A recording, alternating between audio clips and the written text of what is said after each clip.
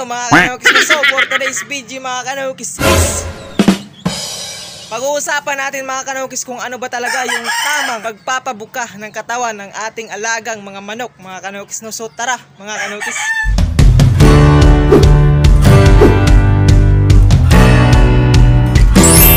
Mga kanukis, so day 8 ngayon ng pagpapabuka ko ng katawan ng ating mga alagang manok mga kanukis. No? So yung day 1 mga kanukis is nagturok tayo ng biksan mga kanukis. No? So ngayon pang day 8, once a week kasi tayo nagtuturok mga kanukis. No? Nang sa ganun is bubuka talaga yung katawan ng ating mga alagang manok mga kanukis. No? So bago tayo tumungo sa ating topic for today mga kanukis is magtuturok muna ako sa ating mga alagang manok mga kanukis. No? So meron tayong biksan mga kanukis. No? So meron tayong syringe mga kanogis no. So kukuha tayo ng 1 ml mga kanogis dahil dalawa lang naman sila mga kanogis no. 0.5 um sisi lang yung i lalagay natin sa kanila mga kanogis no. Dahil tong isang syringe mga kanogis no is 10 ml. So 10 ml siya so 0.5 cc lang tayo mga kanogis no. So kukuha lang tayo dito mga kanogis no, right? So kapag ka mayroong mga bubbles mga kanogis no is pitikin lang natin yan mga kanogis no ngayon para yung bubbles mga kanogis is umangat mga kanogis no right so, so ayan kuhain na natin yung manok natin mga kanogis no One eternity later. So andito na yung manok na tuturukan natin mga kanogis no. So nung unang araw mga kanogis na pagturok ko mga kanogis is sa left side tayo nag tuturok mga kanogis no. So ngayon mga kanogis no, panglawa, pangalawang turok natin no sa right side naman tayo mga kanogis nung lang sa ganun hindi mabugbog yung um, katawan or yung pitso ng ating alagang manok mga kanogis no right? So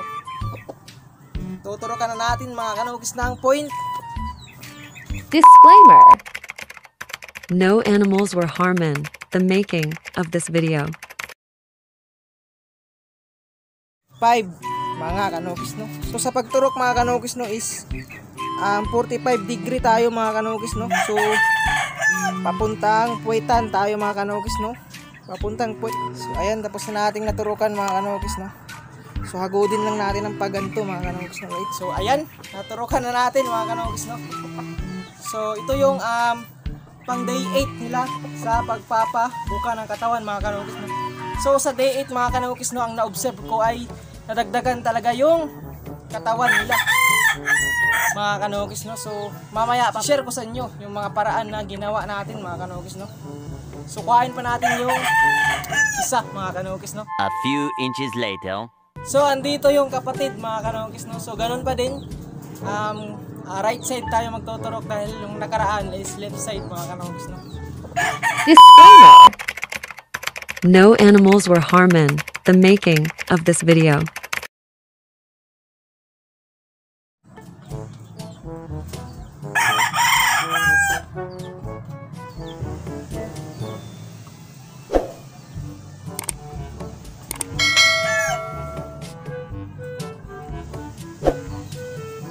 So punta tayo sa topic natin for today mga kanogis no. So kung paano ba yung pagpapabuka ng katawan ng manok mga kanogis no. So lahat ho ng nagmamanok mga kanogis no is may kanya-kanya ho tayong paraan sa pagpapabuka ng katawan mga kanogis no. So dito sa ating backyard mga kanogis no, ang ginagawa ko sa pagpapabuka ng katawan ng manok mga kanogis is pinakauna talaga mga kanogis no is dapat magpurga tayo sa ating mga alagang manok mga kanugis. No mga kanugis, importante na magpurga tayo sa ating mga manok mga kanugis bago tayo mag-apply ng mga gamot or vitamina na kailangan sa pagpapabuka ng katawan mga kanugis dahil um, para maalis yung bulate mga kanugis no dahil pag hindi tayo nagpurga mga kanugis baka sakaling yung mga vitamina or yung mga gamot na naibigay natin sa ating mga manok is mapunta sa bulate mga kanokis. Baka bulate yung tumaba mga kanokis.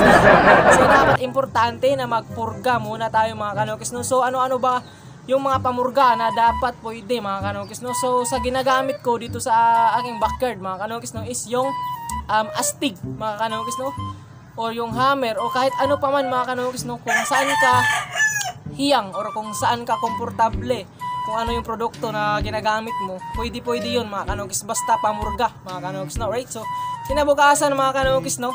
kapag ka tayo ah, nagpaligo, dapat magpakain muna tayo sa ating mga alagang manok, mga kanokis. No? Alright, patuka mga kanokis na binibigay ko sa kanila, mga kanokis, is yung Integra 3 Plus. Mga kanokis, ang Integra 3K Plus, mga kanokis, no, ay ah, mixture siya ng pellets at grains, mga kanokis, no, nasa around 70% yung pellets at yung grains naman mga kanokis is nasa around 30% mga kanokis. So hindi ko lang talaga sure yung percentage ng mixture nila mga kanokis no. Pero mas lamang yung pellets kaysa grains mga kanokis no. Right? So bakit nga ba yun yung ang patuka na ibinigay ko sa kanila mga kanokis no. Right? So yung patuka na kasi na yun mga kanokis no is kumbaga nakahalo na siya mga kanokis no.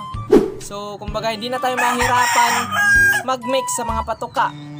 Or bibili pa tayo ng mga crack corn or mga yung basta kung ano yung mga grains na gusto mo mga kanokis no right? So dun kasi sa Integra 3 Plus magkahalo na siya mga kanokis no? So mas maganda din kasi yun ibigay mga kanokis kasi more on pellets na siya mga kanokis at yung grains naman mga kanokis is kaunti lang. So kasi yung pellets mga kanokis is yun yung um, nagpapabuka ng katawan or nagpapataba ng katawan ng ating mga alagang manok mga kanokis no so yung sa grains naman mga kanokis is ah, magbibigay siya ng protina sa ating mga manok. Kumbaga, pantay lang yung um, paglaki ng katawan ng ating alagang manok, mga kanokis. No? So, bubuka siya, mga kanokis, pero hindi siya bibigat dahil sa grains, mga kanokis. No? Right? Bubuka siya pero magaan mga kanokis no kasi kapag ka purong-purong pellets yung maibigay natin sa ating manok mga kanokis no is bubuka siya, tataba at mabigat mga kanokis no. So pangit para sa ating mga manok kapag ka ganun yung ah, katawan nila. Mga kanokis no right baka hindi mamalo dahil nagkakaroon ng sapula yan sa sobrang taba dahil puro pellets yung bigay mga kanokis no right so so sa umaga mga kanokis no kapag katapos na natin mapurga yung manok natin sa umaga bago tayo magpaligo magpakain tayo mga kanokis no? Ang panghalo ko naman sa patuka nila mga kanogis is hinahaluan ko sila ng red cell mga kanogis no? Dahil ang red cell mga kanogis no ay ah, kumbaga rich mayaman siya sa iron mga kanogis no? Yung iron naman mga kanogis no is yun yung tumutulong sa um, kumbaga bibigay ng enerhiya sa mga muscle ng ating ah, manok mga kanogis no? Right? So anim na beses na patak sa patuka nila mga kanogis no? So bago tayo magpaligo mga kanogis no? So pakainin natin yung manok natin ng Integra 3 Plus mga kanogis no? At patakan natin ng red cell mga kanogis no para magkaroon ng iron yung ating mga manok. Ah, more on nagpro-provide siya ng enerhiya sa mga kamasil masilan ng ating mga alagang manok mga kanokis no right? So pangatlo mga kanokis no pagkatapos nating mapakain mapaliguan yung ating mga alagang manok mga kanokis is kapag ka natuyo yan sila mga kanokis no sa bandang tanghali mga kanokis no is magpapasubo tayo ng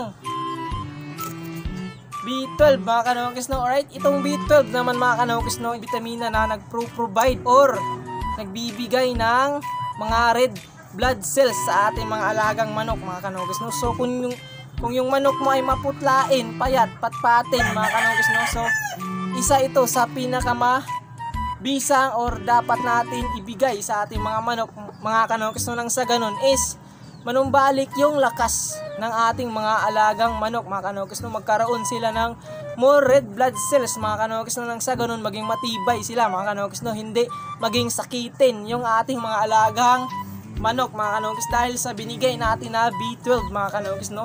Isang producer po isang producer ng um, red blood cells sa mga katawan ng mga manok mga kanugis no?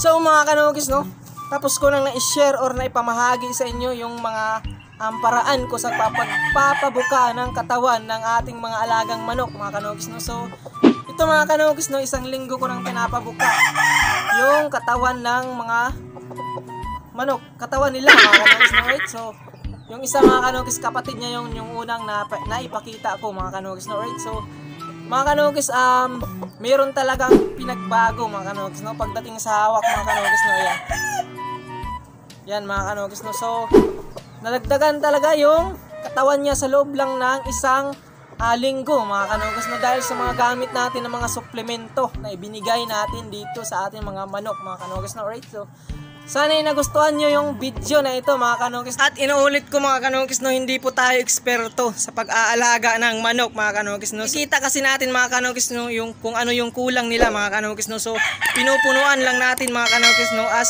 tayo yung nag-aalaga mga kanokis no. Dapat ma-provide natin yung mga um, mga pangangailangan nila mga kanokis no gaya ng mga vitamina mga kanokis no right so hanggang dito na lang for today's video mga kanokis no maraming salamat sa lahat na nag-subscribe nag-like nag-comment nag-share sa ating mga video mga kanokis no right so peace out